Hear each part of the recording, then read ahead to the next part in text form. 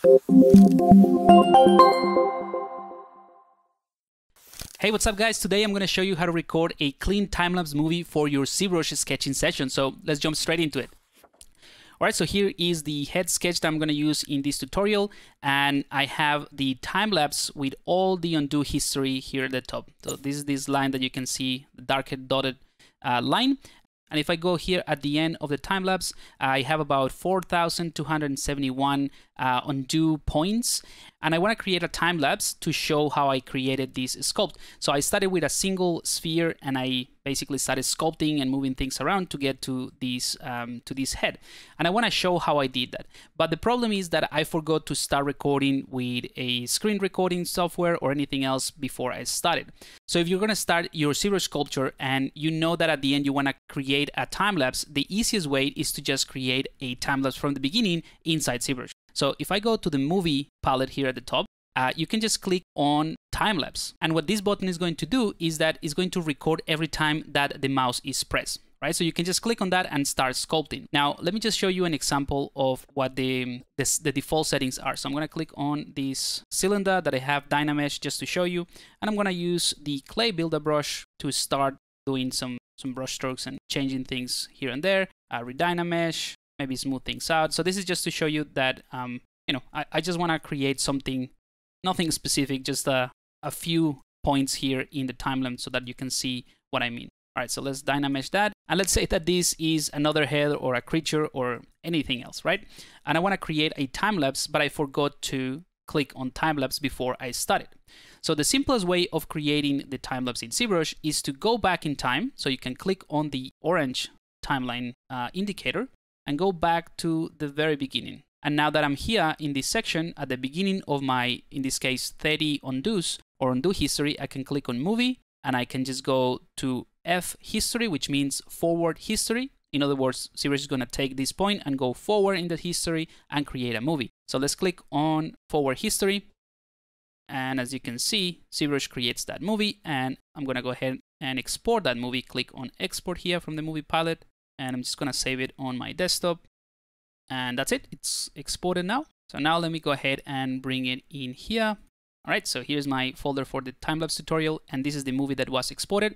So if I double click on this here is the time-lapse right? And it's not great.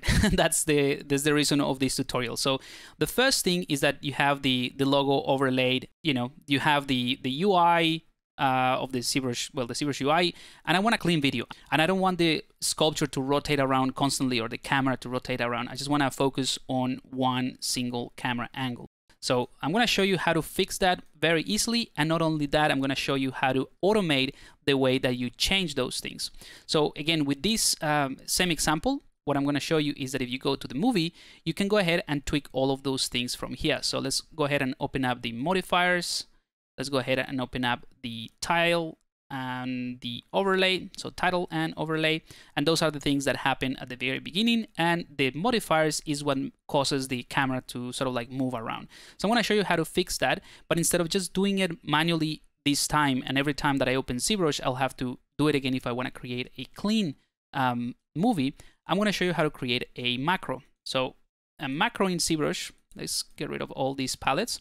I'm gonna click on the movie palette, drop that here to the left, um, and the macro palette, which is this one right here. A macro in ZBrush is basically a, a way of recording actions. Similar to Photoshop, you can just start recording and anything that you do after the, the beginning of the recording in, of the macro, it will be saved. So in other words, I want to create a macro to automate all of those settings for my clean movie. So I'm going to click on macro and I'm going to click on new macro I'm gonna get this pop-up saying that I need to initialize ZBrush, click yes, blah, blah, blah. I'm just gonna click on no. And now you see that that macro was great. Um, anything that I do at this point, wherever I click, whatever button I use is going to be recorded in this macro. So make sure that you have the palette on the left-hand side and we can go ahead and get started. So the first thing I wanna do is go to the modifiers and I'm just gonna turn these spin frames to zero. So click and drag or to one, sorry. And the spin cycles, I'm gonna set that to zero. I'm gonna, uh, you don't really need to, but just gonna turn this uh, Y off just for the sake of keeping it that within the macro that I'm recording. Then I'm gonna take the orientation and the, sorry, the H position and the H orientation back to zero. like so. Uh, and just for the sake of it, I'm to set this one just to 1 as well so that you can see. Um, so basically, this H orientation and this H position are the, the sliders that cause the camera to kind of like pan around and move around every time that I record the movie. Now, on top of that, I want to go down to the overlay and I want to make sure that the opacity is set to 0 and that the fade in and fade out of this logo is also set to 0. I don't want to have the logos in here. Um, on a side note, if you want, you can just click on these logos and load your own logos if you want them to appear in the time lapse. But I don't want any logo to appear in there, so I just set everything to 0. That is about it. That's all the things that you need to do to create a clean movie. When I finish doing all of that, I can go to macro and I'm gonna end my macro and this will appear. So when you click on end macro, you need to save it. So the name that you give to the macro is gonna be the name of the button. So I'm gonna call this one my ZBrush movie, right? Um, you can actually save spaces in here. Obviously, the, the size or the amount of text that you add, that's gonna also affect the size of the button that is gonna be created. Now, because I'm using ZBrush 2022, I just went to the startup macros and you'll see that I have this custom folder called my macros. So I can click on here and it will be saved in, you know, all of these are macros that I've tested or that I've tried myself. So I can just save it in my own folder so that I can keep track of what I'm doing. So my ZBrush movie.txt, I'm going to save it in my macros, click on save. And that's it. It's asking me that the image contain material indexed um, embedded within each pixel. So I'm just going to click on no, I'm not going to save that or separate the channel. So that's it, that's fine. And now if I go to macros, let's just drop that to the left, right? In the macro section, you'll see I have the miscellaneous folder and my macros. So this is equivalent to the folders that I have in the Z startup. So if I click on my macros, I have a bunch of random things that I've tested. So let's try to find the one that I just created. And it should be here. So here we go. So my ZBrush movie, that's my macro. Now, the cool thing about this is that I can place it in my UI, right? So if I want to add this button to, let's say, this area in my UI, I can go to Preference, Enable Customize, and then I can hold Control and Alt at the same time, click and drag, and put that button in there. Go back to Preferences and disable this Enable Customize. Okay, so now we are ready to go. And there's just a couple more things that we can set up and that I don't necessarily like to do within the macro because sometimes I want to change like the document size, right? So that's why I didn't include them in the macro, but you totally can do that. So I'm going to click on this delete button, click no, and that's going to remove the previously created time lapse. And now I'm going to set up the document. So right now, if I click on window, it's going to capture entire window. If I click on doc, it's going to capture only the document and then you can decide how big you want this uh, document to be. So I'm going to click on large. Okay, so now that that's done, let's go ahead and go to, uh, well, we have it here already. I'm to click on the beginning of the undo history. Actually, let's go back to the end first and let's sort of place this. Let's say that this is the front view that I want to maintain. I don't want to move around, but this is to be the, you know, the front of the face. And I'm to show you in, in a second how to do that. So Let's set this one to the beginning and I'm to click on forward history.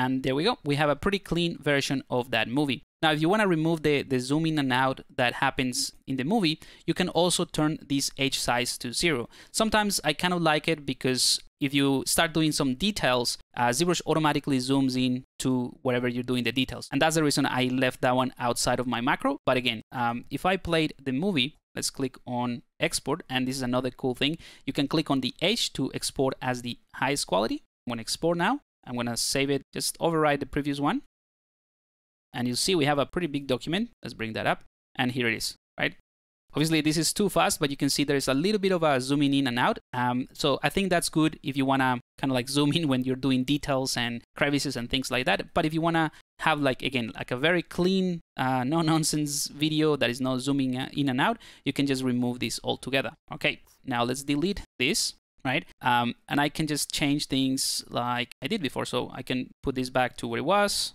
which is every time that I start ZBrush, it will be like this.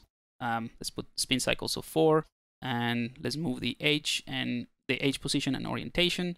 And on top of that, let's also fade this in and add the opacity. So all the things that we basically change with the macro.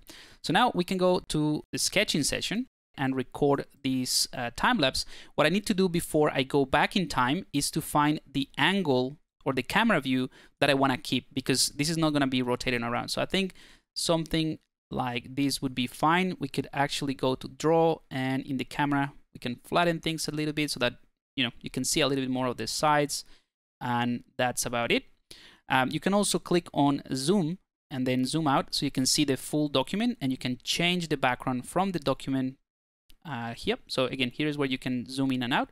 And the background, you can just select something else other than gray and that allows you to sort of visualize where things are going to be placed, right? So this is the entire document as we have selected in here. So this all this whole thing is going to be recorded.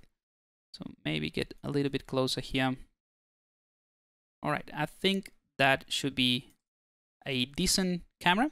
I'm going to set the background to something darker.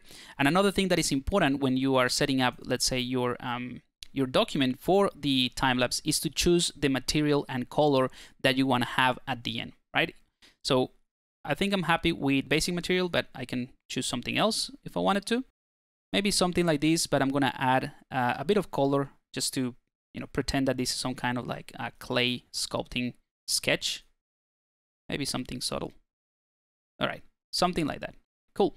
So I'm gonna click on a have or actual, doesn't matter. So I have a pretty big document at the moment. I have something at 2964 by 1840. You can obviously change that to, to suit something more um, realistic in terms of video. So if you set this to non-proportional, you can set this to um, 1920 by 1080, for example. And that's not gonna affect anything in your time lapse. I can just resize my document, click on yes, clear the canvas with Control N, drop that head again, press T to enter edit mode, and I just need to zoom out again and reposition my camera. All right, so I think that's looking good. So now I can go to a half. And another thing you can do if you don't want to have these very harsh shadows is going to the render palette, go to the preview shadows, and you can either click on deep shadows or flat shadows if you want something like more posterized type of thing. So um, yeah, I think deep shadows work sometimes when you're working, but in this type of scenario, you can reduce it and change the opacity as well. But anyway, this is what I like. And the cool thing, again, going back to the first idea of the tutorial, is that I'm gonna click on My ZBrush Movie. So this is the macro that we created, so pay attention to some of the values in here. So if I click on My ZBrush Movie, I basically change all of those values at once. The only one that I mentioned you might want to actually change uh, later is this H size so that there's no zooming in if you're not doing any uh, like fine details like pores and stuff like that. So in this case, I can just change it uh, to zero, or you can create a new macro or another button that has this uh, disable. That's it. Once we're ready, we need to go back in time, and this is going to take a little while because we're going to go back to the first point in history, which is obviously number one, and this has 4,271 points. So it's going to take a, a couple minutes to go back. And then I'm not going to touch anything because it might crash uh, because it's going to be very intense uh, process to try to go back in 4,000 points to the very beginning of the undo history. All right, here we go. Uh, so now that took about three minutes, uh, but I'm now back to the very first in undo history of this sketch, which was a simple sphere. That's how I started that sketch. Now be careful that when you're at this point, you don't move the camera around because you will have to go back to the end result to reposition the camera again because you don't know where it's going to finish. So now that we're here, I'm gonna go back here at the top of my movie palette and I'm gonna click on forward history and ZBrush is gonna start the process of recording all the steps. But as you can see, um, there is no moving of the camera around. The actual model is static. And because I changed the H size, is not doing any zoom in and out. Uh, sometimes, like I said, I prefer to have that a uh, little bit of zooming in and out when I'm doing details and I want to record a time lapse for that. But in this case, is you know mostly working on the anatomy, of the portions, and the main volumes and the secondary forms of the head uh, for this sketch. So I didn't go into that many details, if anything. So that's why, uh, in this case, H size was set to zero. But like I said, you can create your own uh, button. So I'm going to go ahead and speed this up, and I'll see you in a second.